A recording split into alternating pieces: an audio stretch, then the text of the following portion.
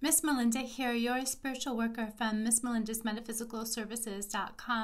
here to give you some tips and instructions for how to work your sweet jar at home.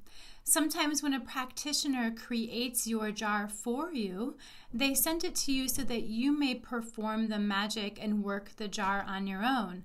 When I create a sweet jar for you, I give you the option to have the jar shipped to you after I perform the initial spell work with the jar. So, here are some tips and instructions about how to continue to work your jar on your own should you choose to do so. When you receive your jar, I recommend that you hold it in your left hand and place your right hand on top of the jar and pray over the jar or send energy into the jar. This is called charging the jar.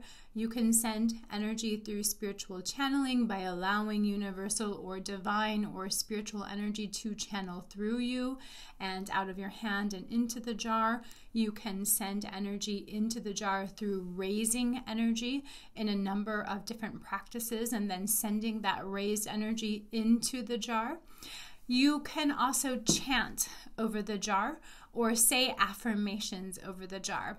Some kind of personal ritual designed to create a link between you and your intention and the jar is highly recommended, and this can be achieved through prayer, through charging, through channeling, or through chanting, or through positive affirmations spoken over the jar.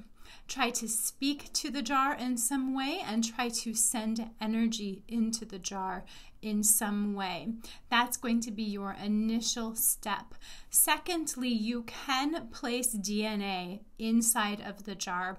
Now, many people traditionally recommend that you should not open a jar after it's already been completed and that doing so will break the spell.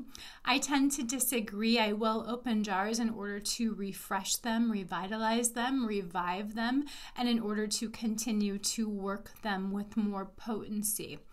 You may open your jar and place some of your DNA into the jar or some DNA of a target into the jar. So, hair, for example, or nail clippings. You could also use personal effects like a piece of clothing and place that inside the jar. You may also breathe life into the jar at that time. To continue to work your jar, it's recommended that you shake the jar. Shaking the jar assists with shaking up the energy inside of the jar. Of course, shaking the jar on its own isn't quite enough. You want to be imbuing the jar with intention or imbuing the jar with energy as you shake it. So you want to be concentrating on your intention, concentrating on your goal, concentrating on your end result. You can do this through visualization, you can do this through chanting or even singing or prayer work. Speak to your work, breathe life into your work. And remember, I'm not telling you the right way or the only way. I'm just giving you information about what works for me from my experience, from my perspective, and from my practices. Another way that you can work with your jar is to charge your jar with solar energy or with lunar energy.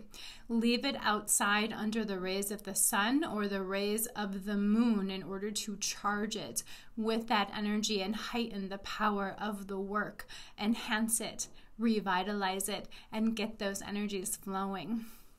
Of course, it's recommended that you burn candles in conjunction with your jar.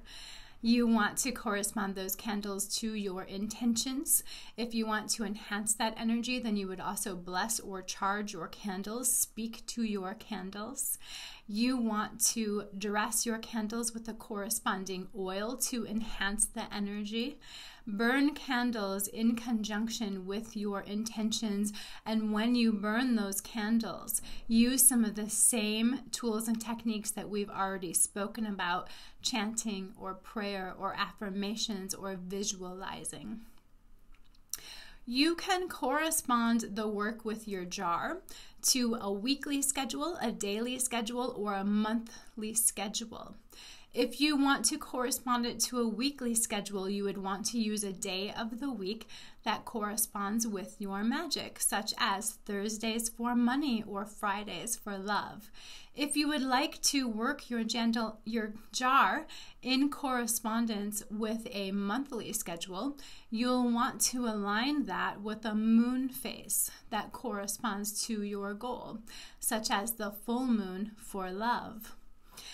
When you get your jar at home and begin to work with it, you will want to place it somewhere in your home that corresponds to the energy that you're drawing into your life. If you're drawing love into your life, you can place your jar in your bedroom. If you're drawing money into your life, you can place your draw your jar in the kitchen or next to your front door and so forth. So I hope this helps you with some of the ways to work your jar magic and I wish you all many many blessings. Be well.